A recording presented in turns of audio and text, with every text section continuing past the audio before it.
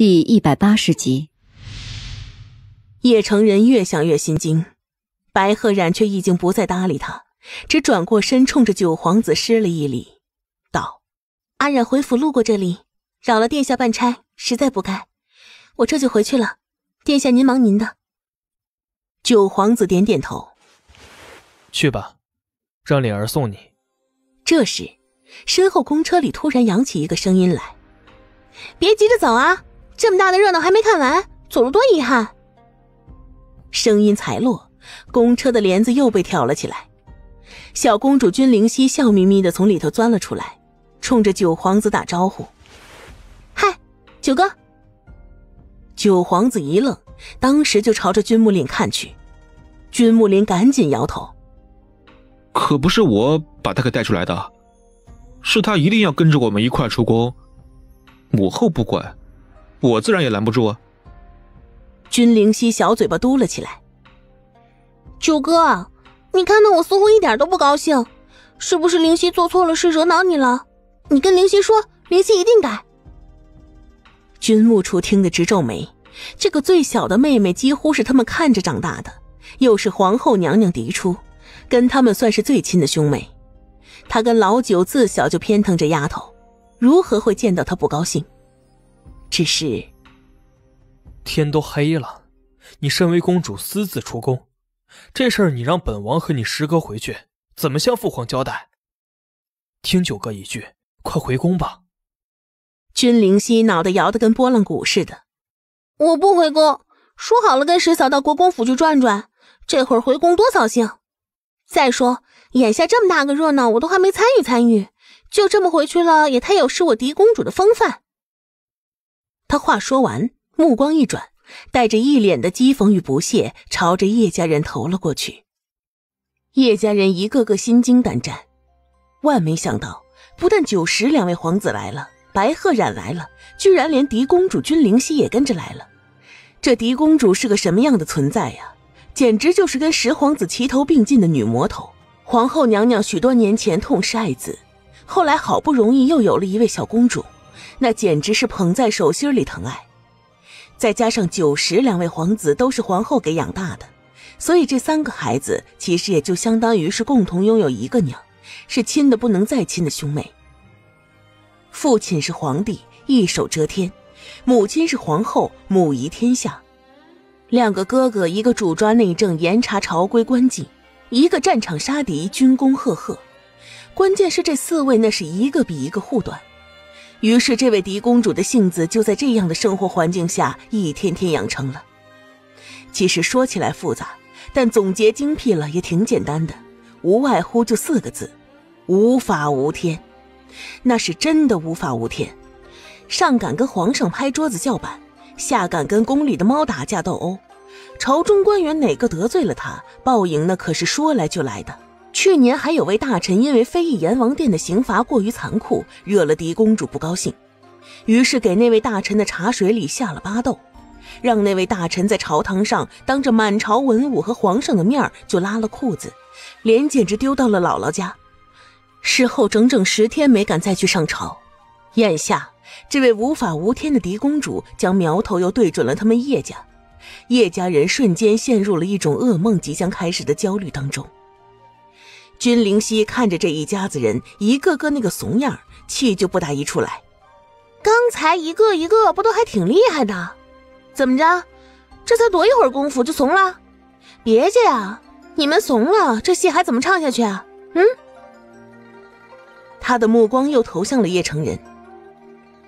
挺大岁数了，当街跟个十几岁的姑娘家叫板，你挺厉害呀。叶成人被骂得脸通红。心头愤怒不已，又实在不敢跟公主叫板，只得不停的道：“草民不敢，草民不敢呐！”君灵溪都气笑了：“草民不敢？你这草民还有什么是不敢的？当街责骂我十嫂，还是当着我十哥的面你的胆子该有多大呀？”君木林拉着白鹤然往后退了几步，退回到公车边上。然后往车上一靠，告诉他媳妇儿：“行了，没咱们什么事儿了，安心看戏。哼，有这丫头在，叶家没好。前头，叶成仁被君灵溪给骂得一声不吭，君灵溪的话却还在继续。你们知不知道，本公主现在出面是在救你们，否则一旦我石哥动了手，那你们叶家可就连翻盘的机会都没了。叶成人听到这处，眼睛一亮，小公主是要救他们。然而，君灵溪的话很快就有了转折。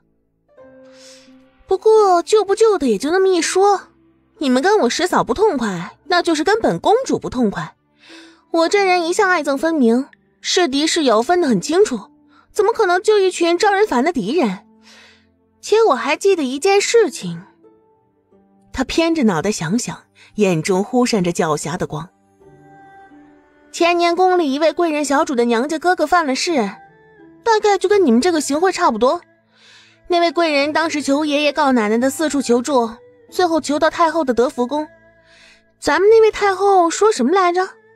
对，她说王子犯法都要与庶民同罪，更何况只是个贵人的娘家哥哥。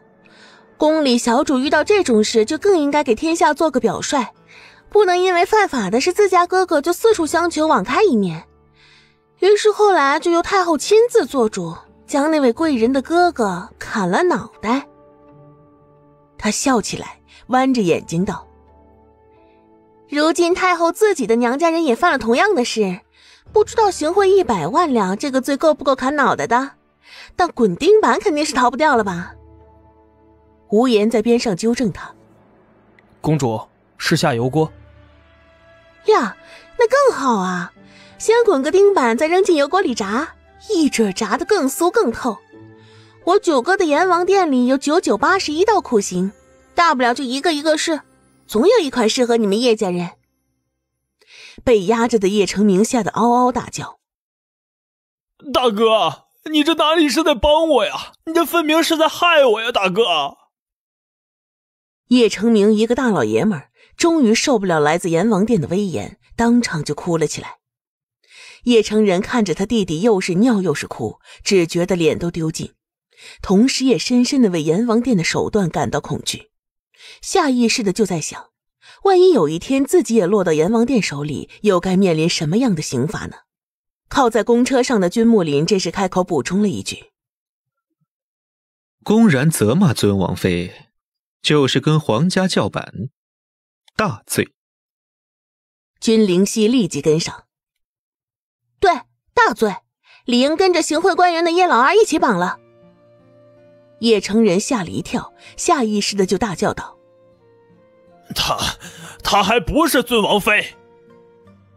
君木林翻翻眼皮子：“是不是轮得到你说？本王说他是，那他就是。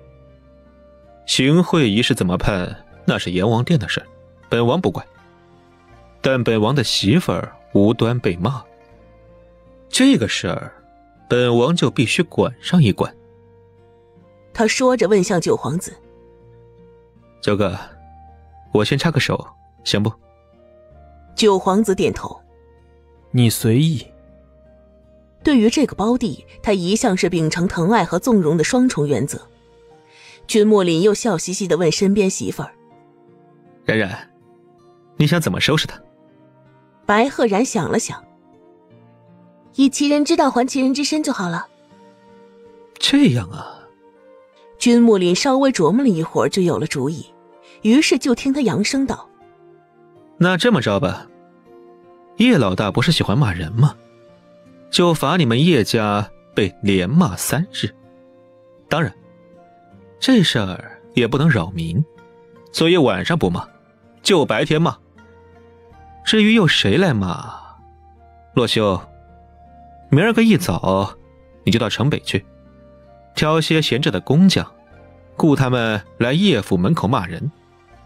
要十个人，五男五女。哼，记得给本王找那种凶悍的、泼辣的、会骂的，骂一天三十两银子，骂的出彩的，本王另外有赏。洛修立即应下了，主子放心，属下天亮就去办。叶家人都要气炸了，这叫什么惩罚？这不就是啪啪在打叶家的脸面吗？他们可是太后娘娘的娘家人，更是跟郭家有亲的。若是无端被一群刁民指着鼻子骂上三天，还不得叫人笑话死？以后哪还有脸面出门见人呢？叶成仁硬着头皮又开了口：“是殿下，这样做是不是不太合适啊？”君木林挑眉：“怎么就不合适了呢？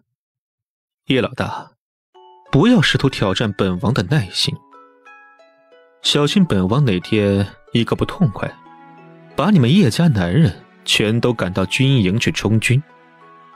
到时候战场杀敌，为国捐躯。”有如此报效东秦的机会，哼！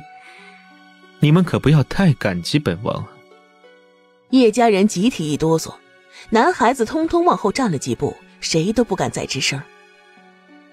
叶成人无奈，也只能认了。君木凛见叶家人不再说话，这才冲着无言那些人挥挥手：“行了，把该带走的都带走吧，本王还要送媳妇儿回家，没工夫再搭理他们。”他说完，拉着白鹤染就要返回公车上，九皇子却在后头叫了他一声：“莲儿，灵犀何时送回宫？或者本王将她带去阎王殿？”君灵犀立即大喊起来：“不不不不不！我不去阎王殿，也不着急回宫，我要跟十嫂到国公府去。今晚我跟十嫂一起睡。”白鹤然忍不住笑出声来，然后回过头跟君木楚说。求殿下放心吧，我会保证小公主的安全，待她玩闹够了，自会送她回宫。君木楚盯着他看了一会儿，半晌，终于点了点头。罢了，那便去吧。公车终于驶离叶府范围，君灵溪摩拳擦掌，愤愤不平。惩罚还是太轻了，骂十天哪里能过瘾？抽十天那才叫痛快。白鹤然苦笑。抽十天就把人抽死了，抽死拉倒。君灵溪立着眼睛道：“我顶烦他们叶家人，一个一个仗着是太后的娘家人，高傲的跟个大公鸡似的。可实际上，太后的娘家人算个屁呀！那老太太自己的地位都十分尴尬，娘家人瞎咋呼什么？真是不知天高地厚。”白鹤染心里分析了一会儿，再开口道：“太后在宫里如何？”毕竟是关起宫门来，皇家自己的事，但是对外还是要做出母慈子孝的表现来，让黎民百姓觉得皇家和睦，天下太平。他一边说一边看向君木林，所以你叫人骂叶府三天，这个事儿还是得有个更好的说辞，比如，比如太后娘娘大义，不袒护娘家兄弟，将这顶大高帽给他一扣。不但堵住了悠悠众口，也给太后找了一个不得不笑着接受的理由。君木林一边听一边点头：“爱妃说的极是，就按你说的办。”君灵溪眼里也闪过崇拜的目光。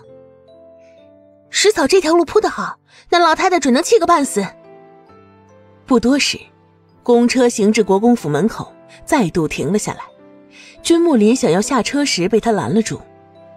府里住进来一位公主就够热闹了，你就别跟着掺和了，否则这一宿也不会有人敢睡觉，光伺候你们都伺候不过来。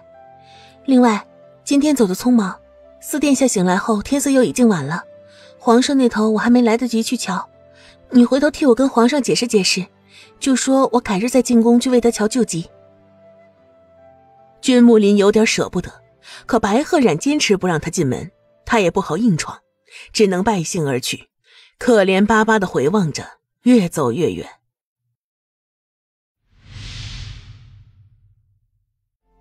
听众朋友您好，我是主播小靠，这次在剧中演绎的角色是中年坏大叔白星岩。都给我去听神医毒妃，快去！